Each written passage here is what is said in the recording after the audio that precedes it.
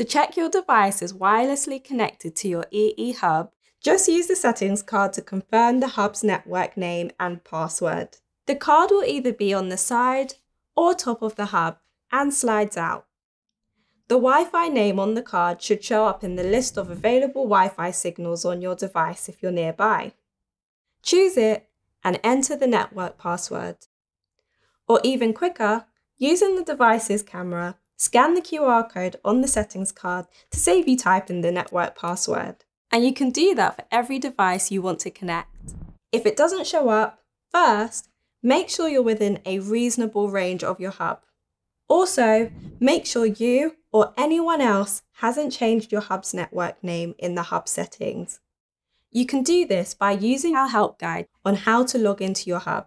If all else fails, you can perform a factory reset by using a paperclip in the small reset button on the back of your hub.